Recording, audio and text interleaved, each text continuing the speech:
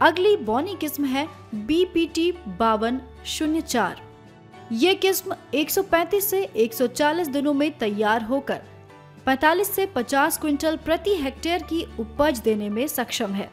20 kilogram प्रति hectare की दर से 10 से 25 जून के बीच बीज का प्रयोग करना चाहिए और इसकी रोपाई 20 गुना 15 सेंटीमीटर की दूरी पर करनी चाहिए। सबौर अर्धजल बीएयू सबौर द्वारा विकसित यह उन्नत प्रभेद 120 से 125 दिनों में तैयार हो जाती है। इसकी उपज क्षमता 50 से 55 क्विंटल प्रति हेक्टेयर है।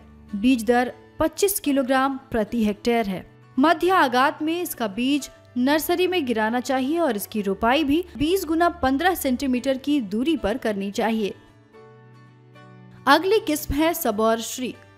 ये भी बीएयू सबौर द्वारा विकसित धान की एक बेहतर किस्म है।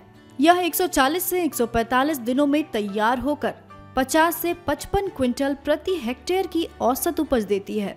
इस प्रभेद की नर्सरी में 25 किलोग्राम प्रति हेक्टेयर की दर से मध्यम समय में बीज गिराना चाहिए। आपको बता दें कि मुख्य खेत में सबौर श्री के पौधों की रोपाई 20 गुना 15 सेंटीमीटर की दूरी पर ही करनी चाहिए।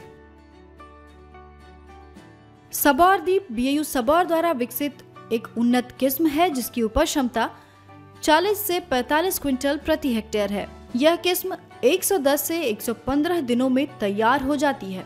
25 किलोग्राम प्रति हेक्टेयर की दर से आगात समय में बीज गिराना चाहिए। इस किस्म के बिचड़े की रोपाई 20 गुना 15 सेंटीमीटर की दूरी पर करें।